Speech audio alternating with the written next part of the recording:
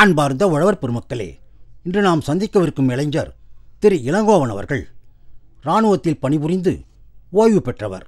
பிறகு வேறு நிறுவனங்களில் பணியாற்றி கொண்டே வேளாண்மை தொழிலில் ஈடுபடத் துவங்கினார். இவர் நாட்டம் இயற்கை விவசாயத்தின் பால் சென்றதால் இயற்கை விவசாயத்திற்கு தேவையான கால்நடை சாணத்திற்காக மாடுகள் மற்றும் ஆடுகளை வளர்க்க துவங்கி தற்பொழுது முழுமையான ஆட்டுப்பண்ணையை பராமரித்து வருகிறார்.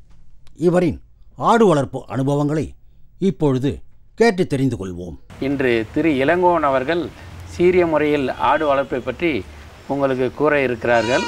அவரை நாம் இன்று சந்திக்கலாம். வணக்கங்கய்யா வணக்கங்கய்யா இப்போ வந்து நீங்கள் வந்து பணி புரிஞ்சுதா சொல்கிறாங்களா ராணுவத்தில் எவ்வளோ நாள் பணி புரிஞ்சு ராணுவத்தில் ஒரு பதினேழு ஆண்டு காலம் பணிபுரிஞ்சேன் சார். சரிங்க. சரிங்க. வேறு என்னென்ன பணி செய்தீங்க? பணி புரிஞ்ச பிற்பாடு. பணிபுரிஞ்ச பிற்பாடு சார் வந்து இப்போ போஸ்டல் டிபார்ட்மெண்ட்டில் நாகப்பட்டினம் டிவிஷன் ஆஃபீஸில் எம்டிஎஸ்ஸாக பணிபுரியும் சார்? அப்படியா? சரி நான் உங்களை பற்றி கேள்விப்பட்டிருக்கேன். நிறைய பேப்பர்லாம் பார்த்துருக்கேன். நீங்கள் ஓவியம் வரைவதாக. அதை பற்றி கொஞ்சம் சொல்லுங்களேன். நான் சின்ன வயசுலேருந்து ஆர்வம் சார் எனக்கு ஓவியத்தில். அதனால் வந்து இந்த நானாவே கற்றுக்கிட்ட கலை இது சார். சரிங்க. ஸோ வந்து ஆஃப்டர் ரிட்டையர்மெண்ட் ஆஃப்டர் இராணுவத்திலேருந்து ஓய்வு பெற்ற பிறகு இப்போ வந்து இந்த ஆட்டு பண்ணை வளர்க்குறீங்க. ஆமாம் சார். இந்த ஆட்டு பண்ணை வைக்கணுன்ற எண்ணம் உங்களுக்கு எப்படி தோணுச்சு? நான் முதல்ல சொன்னேன் சார் நான் இயற்கை விவசாயி. நான் சின்ன வயசுலேருந்து விவசாயி விவசாயத்தில் ஆர்வம். எங்கள் அப்பாவும் விவசாயி தான். அதனால் வந்து எனக்கு வந்து விவசாயத்தில் ஈடுபடும் போது இயற்கையாக செய்யணும்னு எனக்கு ஒரு எண்ணம். அதை தொட்டு ரசாயனம் எதுவுமே சேர்க்கக்கூடாது அப்படின்னு பார்க்கும்போது சாண எரு நமக்கு தேவைப்படும் தேவை. அதனால் அதை பூர்த்தி செய்யணுங்கிறதுக்காண்டி கால்நடை வளர்ப்பில் எனக்கு ஆர்வம் இருந்ததுனால இந்த தொழிலில் நான் ஆரம்பிக்கிறேன்னு ஒரு சின்னதாக ஒரு பத்து ஆடை வச்சு ஆரம்பித்தேன் பத்து ஆடை வச்சு ஆரம்பித்து இப்போ வந்து என்கிட்ட ஒரு நாற்பது நாற்பத்தஞ்சு ஆடுகள் இருக்குது சார். ஒரு மூணு மாடு இருக்குது கறவை மாடு இப்போ கண்ணுட்டி போட்டிருக்கு பா பால் க- கறக்குறேங்க சார். அதுலேருந்து எனக்கு வருமானம் வருது. இதனால இந்த எரு எருவை கொண்டு நம்ம நிலத்தில் நாம் பயிர் பண்ணுறதுக்கு பயன்படுறதுனால இது ஆரம்பிச்சது தான் சார். சரிங்க. இது ஆரம்பத்தில் என்ன செலவு பண்ணீங்க? எங்கே இந்த ஆடெல்லாம் வாங்கிட்டு வந்தீங்க? இது வந்து ஏற்கனவே வந்து இது வந்து எங்கள் கிராமத்தில் பார்த்தீங்கன்னா வீட்டுக்கு எல்லார் வீட்லேயுமே ஒரு நாலு ஆடு அஞ்சு ஆடு பத்து ஆடு வரலையும் எல்லார் வீட்லேயுமே இருக்கும். அது மாதிரி எங்கள் அம்மா அப்பா வளர்த்துக்கிட்டு இருந்தாங்க முன்னாடி. சரி இதை திரும்ப வந்து நம்ம அப்போ வந்து சுத்தமாக நாட்டு ஆடாக தான் இருக்கும். நாட்டு வந்து பார்த்திங்கன்னா வந்து அவ்வளோத்துக்கு வளர்ச்சி இருக்காது சுமாராக தான் இருக்கும். சரி நம்ம வந்து கொஞ்சம் வட வட மாநிலங்களில் பார்த்திங்கன்னா நல்லா இந்தியாவுக்குள்ளே உள்ள ஆடே நல்லா பெரு பெருசாக வளர்கிற ஆடுகள் இருந்துச்சு.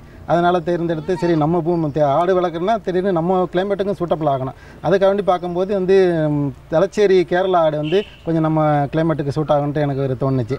எங்கள் பக்கத்தில் ஒரு சார் கூட வளர்த்துக்கிட்டு இருந்தாங்க. அவங்கள்ட்ட பார்த்தேன் அவங்க பண்ணையில் பார்த்தேன். அவங்க அவங்க மூலியமாக தான் எனக்கு ஒரு ரெண்டு ஆடு வாங்கி ஃபஸ்ட்டு முத முதல்ல வாங்கி கொடுத்தாங்க. அந்த ஆடுகளை வச்சு நான் உற்பத்தி பண்ணது தான் இந்த இப்போ எல்லா ஆடுகளும். இப்போ தலைச்சேரியை பார்த்தீங்கன்னா என்னோட தலைச்சேரி ஆடு தான் அதிகமாக இருக்குது ஏன்னா பால் உற்பத்தியும் நல்லா இருக்குது குட்டிகளும் வந்து ரெண்டு குட்டி மூணு குட்டி அது மாதிரி போடும் அந்த ஆடு.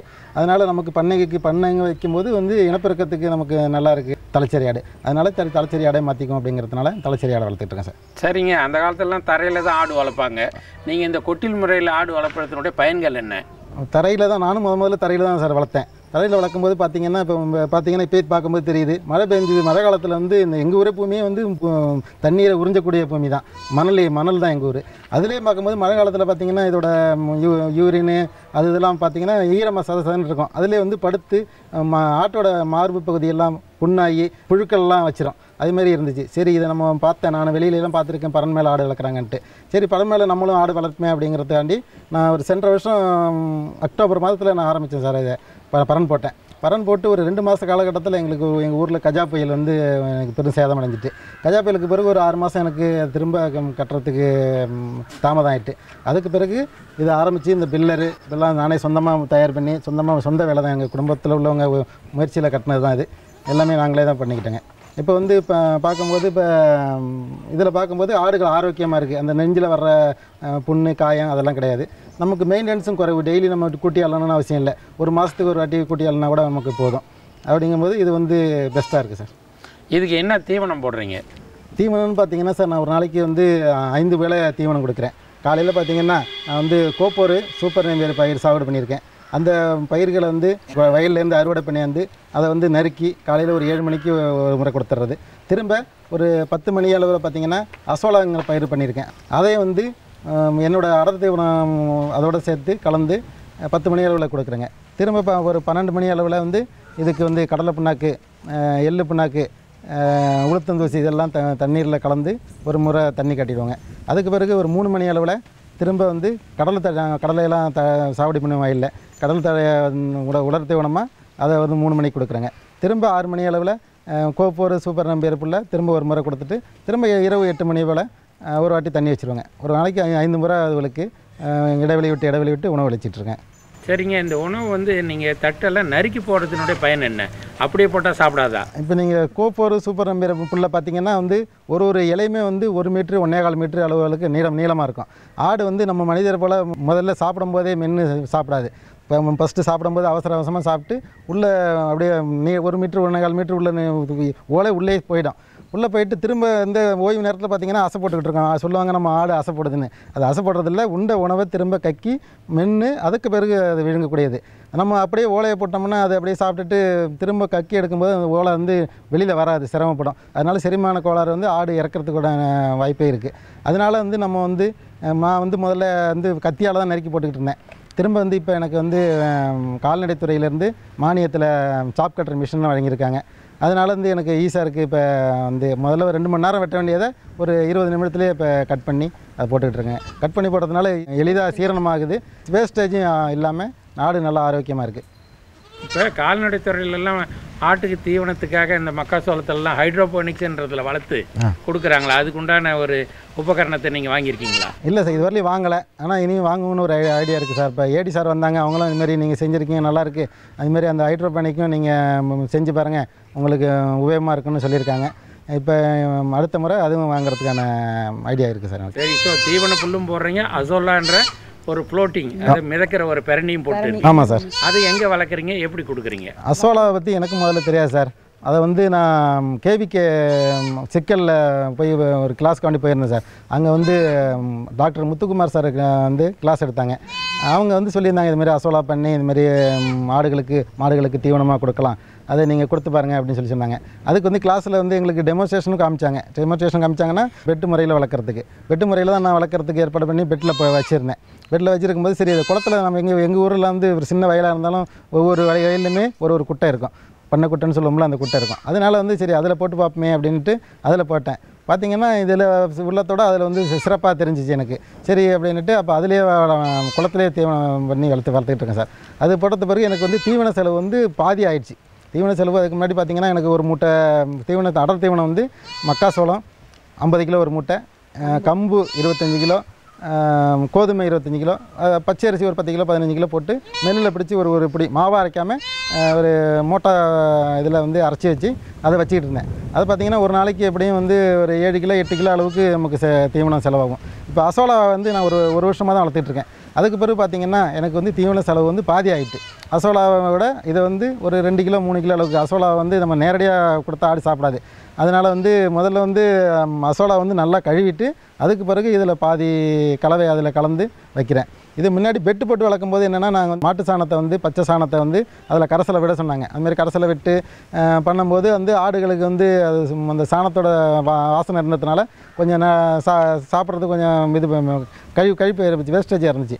திரும்ப இப்போ வந்து நான் வய குளத்தில் இருக்கும்போது அந்த சுமல் எதுவுமே கிடையாது. அதில் வந்து இயற்கையாகவே வளருது. அது தொட்டு சும்மா வேரில் வந்து அது மிதவை த தாவரங்கிறதுனால வேரில் லேசாக அழுக்கு இருக்கும். அந்த அழுக்கை கிளியர் பண்ணுறதுக்காண்டி நாங்கள் ஒரு மூணு தடவை வந்து நல்ல நல்ல தண்ணியில் கழுவிட்டு அதுக்கு பிறகு அதை வந்து சோளத்தை மிக்ஸ் பண்ணி அது கொடுத்துட்ருக்கேங்க. அதுக்கு முன்னாடியெல்லாம் நாங்கள் கேள்விப்பட்டது இந்த அசோலா போட்டாலே ஆடு மாடு சாப்பிட்றதில்ல.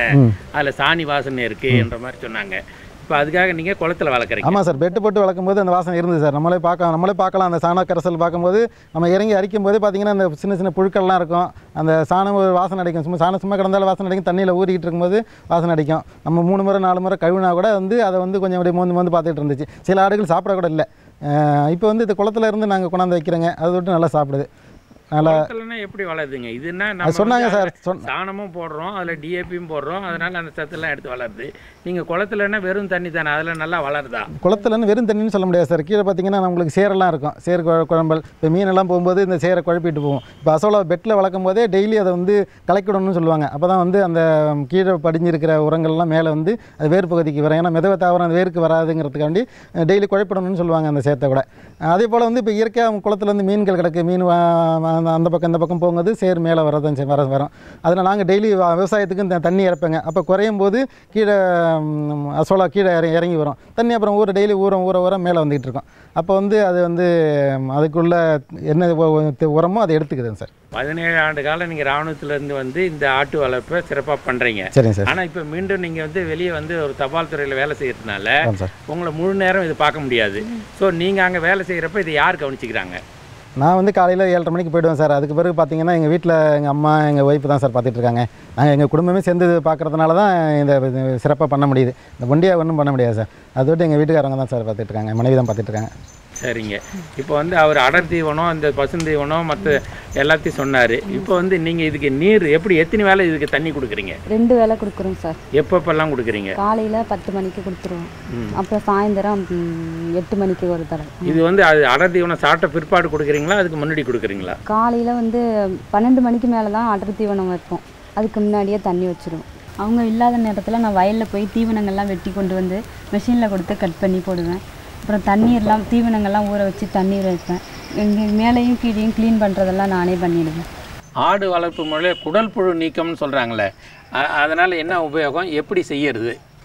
குடற்புழு நீக்கம் வந்து ஒரு ஆடு வளர்ப்புக்கு வந்து முக்கியமான ஒன்று சார். உடற்புழு நீக்கம் வந்து நம்ம வந்து முறையாக கடைப்பிடிக்கணும். ஆடு வந்து ஆடு ஆரோக்கியமாக இருக்கணும் இருக்குங்கிறதுனா காரணம் குடற்புழு நீக்கத்துக்கு வந்து மருந்து வந்து எப்போ இடைவெளி விட்டு செய்யுங்கன்ட்டு டாக்டர்கிட்ட ஆலோசனை பண்ணி அதை கொடுத்து வர கொடுத்துட்டு வரேன் முத மா வந்து குட்டி போட்டு ஒரு ஒரு மாதத்துலேயே வந்து நம்ம வந்து இருபது நாள் அது இறக்கடிக்க ஆரம்பிச்சது. இருபத்தோரா நாள் இறக்கடிக்குன்னு சொல்லுவாங்க. இப்போ பார்த்தீங்கன்னா ஒரு பதினாறு நாள் பதினேழாம் நாள் இறக்க கடிக்க ஆரம்பிச்சிருது இறக்கடிக்க ஆரம்பிச்சது பிறகு ஒரு ஆட்டுக்குட்டிக்கு வந்து குட்டி ஒரு இருபது நாள் குட்டிக்கு ரெண்டு எம்எல்ங்கிற விகிதத்தில் குடல்புழு நீக்கத்துக்கான மருந்தை ஃபஸ்ட் மொதல் மொதல் டோஸ் கொடுக்கணும்.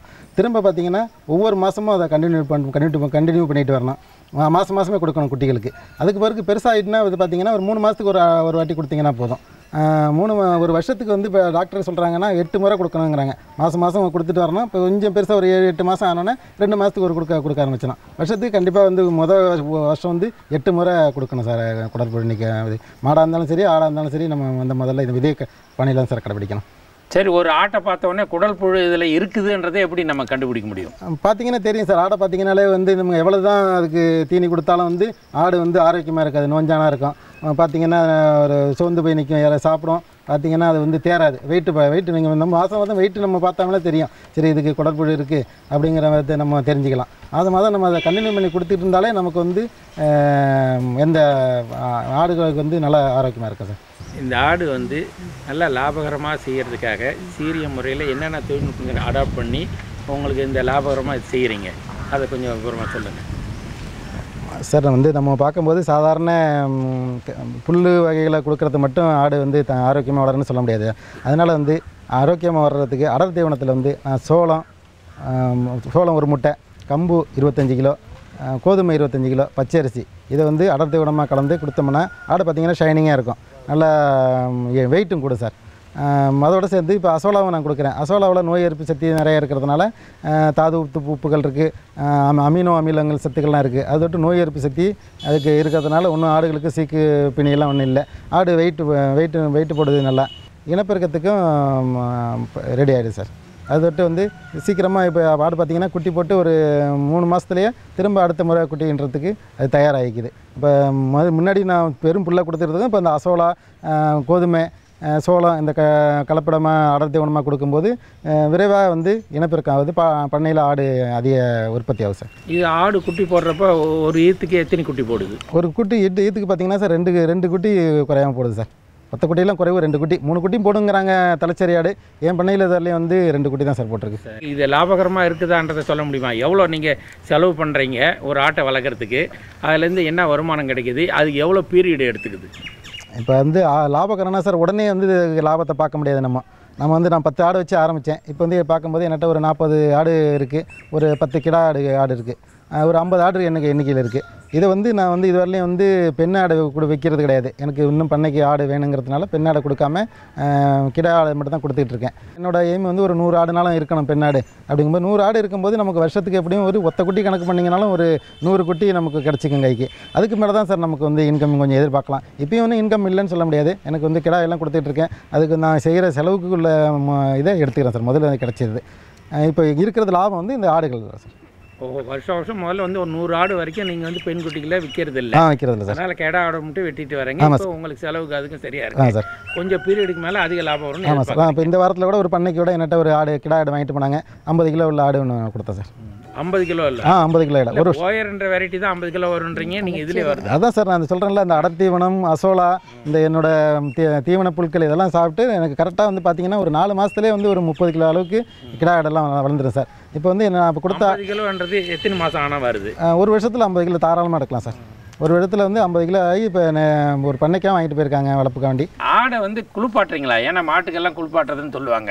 ஆட்டை குளிப்பாட்டுறது உண்டா? குளிப்பாட்டுறேன் சார். கோடையில் வந்து ஒரு வாரத்துக்கு ஒரு நாளைக்கு ஞாயிற்றுக்கிழமை நான் லீவில் இருப்பேன். ஞாயிற்றுக்கிழமை எல்லா இடையும் வந்து குளிப்பாட்டிடுவேன். அது மாதிரி வந்து தெல்லுக்காண்டி பூச்சி மருந்து பூச்சி மருந்தும் தெல் இப்போ வந்து கோடையில் பார்த்தீங்கன்னா குறைவாக இருக்கும் மழை காலத்தில் வந்து தெல் அதிகமாக வந்துடும் தெல் வந்துச்சுன்னா ஆடு வந்து ஆரோக்கியமாக இருக்காது.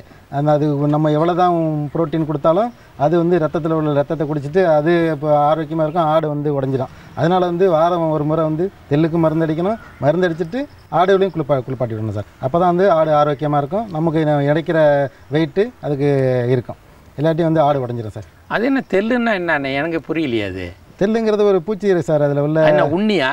உண்ணிங்கிறது சின்னதாக இருக்கும் சார். தெல்லுங்கிறது நைஸாக இருக்கும். பார்த்தீங்கன்னா அதுக்கு வந்து மெடிக்கலில் மருந்து இருக்குது சார். அதை வந்து தண்ணீரில் ஒரு லிட்டர் ஒரு லிட்டர் தண்ணீருக்கு ரெண்டு எம்எல் போட்டு ஒரு ஒரு ஆட்டுக்கு வந்து நினச்சி நினச்சி விட்டிங்கன்னா அது செத்துரும். நினச்சி விட்டு நம்ம வந்து குளிப்பாட்டி விட்டணும் குளிப்பாட்டினீங்கன்னா அந்த இது வந்து வாரம் வாரத்துக்கு ஒரு முறை அதை பண்ணிங்கனாலே வந்து ஆடு ஆரோக்கியமாக இருக்கும். ஸோ இது ஆரோக்கியமாக இருக்கிறதுக்கு இந்த முறையை அடாப்ட் பண்ணுறீங்க ஆமாம் சார். சரிங்க. வேற என்னென்ன தொழில்நுட்பங்கள் கடைபிடிக்கிறீங்க?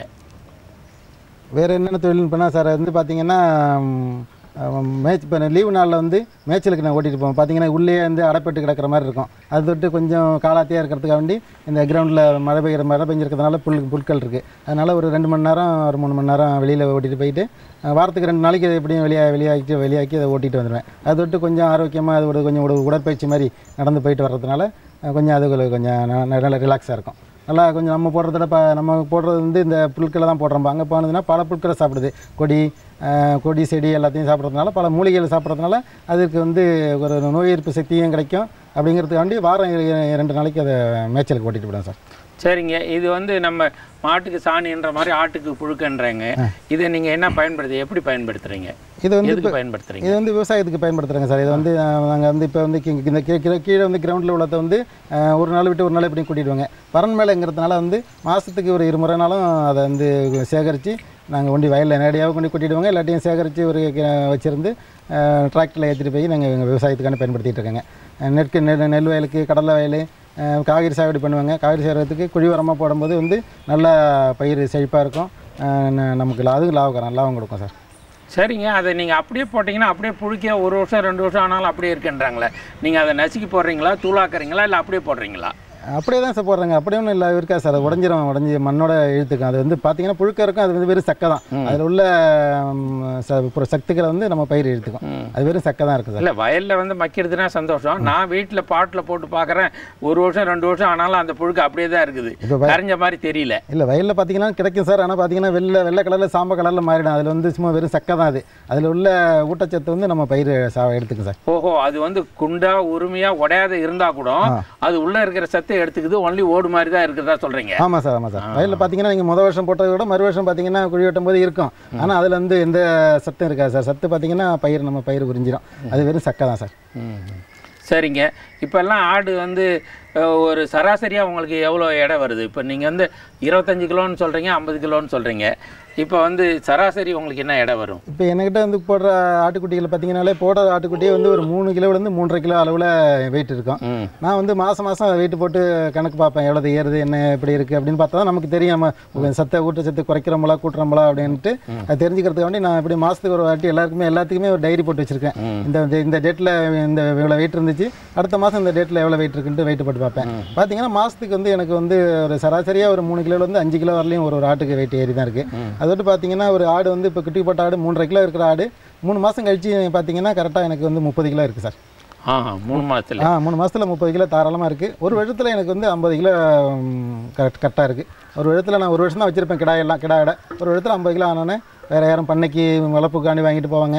இல்லை வேறு சந்தைக்கு அது மாதிரி கிடா இடை வாங்கிட்டு போயிடுவாங்க சார். வீட்லேருந்து வாங்கிட்டு போடுவாங்க நமக்கு வந்து நம்மளால் கொடுக்க தான் முடியல. பார்த்தீங்கன்னா வாரத்தில் ஒரு வந்து ரெண்டு பேர் மூணு பேர் வந்து வந்து கேட்டு தான் போவாங்க. எனக்கு ஆடு கொடுங்க பெண் ஆடு கொடுங்க பெண் ஆடு கொடுங்க அதிகமாக கேட்குறாங்க நம்மள்ட்ட கொடுக்க- முடியாத சூழ்நிலையாக இருக்குன்னா எனக்கு ஒரு ஆடு நூறு ஆடு வரணும் அதுக்கு பிறகு தான் கொடுக்குறாங்கிற எய்மில் இருக்கிறேன். அது தொட்டு இப்போ இப்போதைக்கு வந்து கிடா ஆடை மட்டும் கொடுத்துட்ருக்கேன் சார் சரிங்க குட்டி போட்டு எத்தனை மாதத்தில் சென பருவத்துக்கு வரும்? பருவத்துக்கு வரும். இப்போ குட்டி பாட்ட ஆடு வந்து கரெக்டாக பார்த்தீங்கன்னா ஒரு ரெண்டரை மாதத்துலேருந்து வந்து உங்க- உங்களுக்கு அடுத்த இதுக்கு பருவத்துக்கு வந்துடும் சார். இது எப்படி நீங்கள் வந்து ஆர்டிஃபிஷியலாக வந்து இன்செமினேஷன் சொல்கிறாங்களா அதை பயன்படுத்துகிறீங்களா இல்லை வந்து ஆடே வச்சு ஆடு ஆடு தான் சார். என்னட்ட கிடா ஆடு வச்சிருக்கேன் சார். கிடா ஆடு வருஷத்துக்கு ரெண்டு ரெண்டு வருஷத்துக்கு ஒரு வாட்டி கிடா ஆடை மாற்றிடுவேன் நான் நேற்று சொந்தமாக தான் சார் வச்சிருக்கேன். ஒரிஜினல் தலைச்சேரி ஆடு வச்சிருக்கேன். அதை வச்சு தான் சார் பயன்படுத்திக்கிறது. சரிங்க. சரிங்க நீங்கள் ஆரம்பத்தில் பத்து ஆடு வளர்த்தீங்க. ஆமாம் சார். இப்போ ஏறக்குறைய நாற்பது ஆடு வச்சுட்டீங்க. ஆமாம் சார். ஸோ ஆரம்பத்தில் உங்களுக்கு என்ன செலவாச்சு? இப்போ என்ன செலவாகுது? செலவுன்னு பார்த்தீங்கன்னா சார் அந்த பத்து ஆடு வச்சிருக்கும் போது உள்ள செலவு தான் இப்போ எனக்கு நாற்பது ஆடு இருக்கும்போது நாற்பது ஆடு வச்சிருக்கும் போது செலவு இருக்குது ஏன்னா நம்ம வந்து சொந்தமாகவே இல்லாமல் உழைச்சி உழைக்கிறோம்போ அதனால் வந்து இப்போ எங்கள் குடும்ப உறுப்பினர் தான் உழைக்கிறேன்னு முன்னாடியே சொல்லிட்டேன். அதை விட்டு இப்போ என்னோட தீவனமெல்லாம் வந்து என்னோட வயல்லே சொந்தமாக உற்பத்தி பண்ணுறேன் அதை விட்டு வந்து எனக்கு வந்து அந்த பத்து ஆடுக்குள்ள செலவு தான் இப்போ இந்த நாற்பது ஆடுக்கும் வருதுன்னு சொல்லணும். நம்ம உழைப்பு கொஞ்சம் கூடுதலாக இருக்குது வேறு ஒன்றும் இதில் ஒன்றும் வித்தியாசம் இல்லை சார். இப்போ வந்து இந்த கொட்டையெல்லாம் போட்டிருக்கீங்களா? அதுக்கு என்ன செலவாச்சு? இந்த கொட்டகைக்கு வந்து பார்த்தீங்கன்னா சார் பொருள் செலவு மட்டும் தான் சார் செலவு. பாக்கி நாங்கள் சொந்தமாகவே எங்கள் குடும்ப உறுப்பினர் தான் சேர்ந்து எல்லாமே பண்ணேங்க. இப்போ வந்து இந்த பில்லர் போட்டது கார்பெண்டர் ஒர்க்கு எல்லாமே நானே தான் பண்ணேன். அதனால் வந்து செலவு வந்து கம்மி தான் சார். ஒன்று பொருள் வாங்கின செலவு மட்டும்தான். இந்த கொட்டகை அமைக்க எனக்கு ஒரு எழுபத்தஞ்சாயிரம் செலவானுச்சு சார். சரிங்க. இது மாதிரி கூட்டு குடும்பமாக பண்ணீங்கன்னீங்க அது ரொம்ப வரவேற்கப்பட வேண்டியது தான் ஸோ அது வந்து ஒரு ஆடு மட்டும் வளர்க்குறீங்களா? வேறு ஏதாவது வளர்க்குறீங்களா? ஆடு மட்டும் இல்லை சார். நாங்கள் ஆடோட மாடும் வளர்க்குறோங்க சார். மாடு இப்போ கி கிரியின மாடு என்கிட்ட இருக்குது அது மாடு வந்து எங்கள் வீட்டிலே பிறந்த கண்ணுக்குட்டி தான். கிரு மாடு வச்சுருக்க மெயின்டைன்ஸ் பண்ணிகிட்ருக்கேன் சார். இப்போ கண்ணுட்டி போட்டு கூட வந்து ஒரு இருபது நாள் ஆகுது. காலையில் வந்து பால் வந்து பார்த்திங்கன்னா ஒரு ஏழு லிட்டர் பால் சாயந்தரம் ஒரு அஞ்சு லிட்டர் பால் இருக்குது அதனாலே நமக்கு வந்து இப்போ செலவு பார்த்திங்கன்னா மாதம் எனக்கு ஒரு பதினஞ்சாயிரம் செலவு வருதுன்னா அது மாட்டிலேருந்து இந்த மாதம் மாதம் அந்த பால் இந்த வீட்டிலேருந்து வாங்கிட்டு போடுவாங்க பாலேருந்து அதை தொட்டு வந்து எனக்கு ஒரு செலவு இதுக்கு செய்கிற செலவு எனக்கு வந்து ஒரு பெருசாக தெரியல சார். அது விட்டு பராமரிக்கிறதுக்கு கொஞ்சம் ஈஸியாக இருக்குது வேறு ஏதாவது கோழி கீழ் வளர்க்குறீங்களா? கோழி சார் நான் முதல்ல வந்து இந்த தீவனம்லாம் வேஸ்ட் ஆகுது அப்படிங்கிறதுக்காண்டி கோழி வே- வந்து ரெண்டு மூணு கோழி வாங்கி விடுமேன்ட்டு கோழி வாங்கி விட்டேன். இப்போ கோழி வந்து இப்போ முட்டை போடுது அது நாங்கள் எங்கள் சொந்த பயன்பாட்டுக்காண்டி வச்சுக்கிறேங்க. கிரிராஜாங்கிற ஒரு இன கோழியை வளர்க்குறேங்க சார். இப்போ நான் வந்து ஆடு வளர்க்கணும்னு விருப்பப்படுறேன். இல்லை வந்து புதுசாக ஆடு வளர்க்கணும் அவங்களுக்கு ஆடு வளர்க்குறதுக்கு முன்னாடி கவனிக்க வேண்டியவை என்ன? ஆடு ஆரம்பித்த பிற்பாடு அந்த பண்ணை ஆரம்பித்த பிறகு கவனிக்க வேண்டிய தொழில்நுட்பங்கள் என்ன? ஆடு வளர்க்குறது ஆசைப்பட்டா சார் ஆடு வளர்க்குறதுக்கு ஃபஸ்ட்டு நமக்கு வந்து தீவனத்தை நம்ம ஃபஸ்ட்டு ஏற்பாடு பண்ணிக்கணும் சார். தீவனம் வந்து நம்ம வந்து வாங்கியெல்லாம் செய்ய முடியாது. நம்மளே உற்பத்தி பண்ணணும். இப்போ நானும் அது மாதிரி தான் உற்பத்தி பண்ணிட்டு இருக்கேன். என்னோட ஆடுகளுக்கு வந்து தீவனம் வந்து தீவன செலவை குறைக்கணும்னா நம்மளே உற்பத்தி பண்ணிக்கிட்டால் தான் செலவு குறையும். எல்லாத்தையும் நம்ம வாங்கி போட்டோம்னா நமக்கு கட்டுப்படி ஆகாது. அதனால் தீவனத்தை வந்து நம்ம ஃபஸ்ட்டு உற்பத்தி பண்ணிக்கணும். அதுக்கு பிறகு நம்ம கிளைமேட்டுக்கு நம்ம ஊருக்கு எந்த ஆடு சூட்டபிள் ஆகுமோ அந்த ஆடை வாங்கி வளர்க்கணும். நம்ம அதை விட்டு நம்ம ஆடு வளர்க்குறேன்ட்டு போய் வெளிநா ராஜஸ்தானில் உள்ள ஆட்டை கொண்டாந்து நம்ம இங்கே வளர்த்தோம்னா நமக்கு செட் ஆகாது. இங்கே அங்கே வந்து கிளைமேட் வேறு இங்கே கிளைமேட் வேறு. அதுபோல் வந்து நம்ம அருகில் எது பண்ண இருந்துச்சுன்னா அவங்கள்ட்ட மூலியமாகவே ஒரு ஆட்டை வாங்கியோ வாங்கி வந்து வளர்த்து நமக்கு கிளைமேட்டுக்கு என்ன ஆடு சூட்டபிள் ஆகுதோ அதை வாங்கிட்டு வரணும் ஃபஸ்ட்டு வாங்கிட்டு வந்து அதுக்கு பிறகு வந்து பார்த்திங்கன்னா கொட்டகை ஆரம்பிக்கிறதுக்கு இப்போ எங்கள் ஊரை பார்த்திங்கன்னா சமதளம். அது விட்டு மழை பெஞ்சாலும் ஒன்றும் பிரச்சனை கிடையாது. பாக்கி பாக்கி இடத்துல பார்த்திங்கன்னா வந்து மேடு பள்ளமாக இருக்கும். அதே போல் தண்ணி தேங்காத இடமா பார்த்து கொட்டகை அமைக்கணும். ஆடு வளர்க்குறவங்களும் ஆடில் வந்து இப்போ படிச்சுட்டு நிறைய பேர் இளைஞர்கள் வந்து வேலை இல்லை அப்படின்னு செய்திருக்கிறாங்க. அவங்க வந்து கிராமத்தில் உள்ள இளைஞருக்கு ஆடு வரப்பு ஒரு சிறந்த தொழில். நல்ல லாப லாபகரமான தொழில். அது விட்டு தாராளமாக செய்யலாம் ஆடு வளர்ப்பு செய்யலாம். ஒரு நூறு ஆடு வச்சுருந்தீங்கன்னா நமக்கு வருஷத்துக்கு வந்து ஒரு மூணு லட்சத்துலேருந்து நாலு லட்சம் வரலையும் நமக்கு கண்ணை மூடிட்டு எடுக்கலாம் சார். சரிங்க. இதுவரை நீங்கள் வந்து ஆட்டு பண்ணை எப்படி சிறப்பாக செய்கிறதுன்ற விளக்கத்தை கொடுத்தீங்க. நன்றி வணக்கம். வணக்கம் சார்.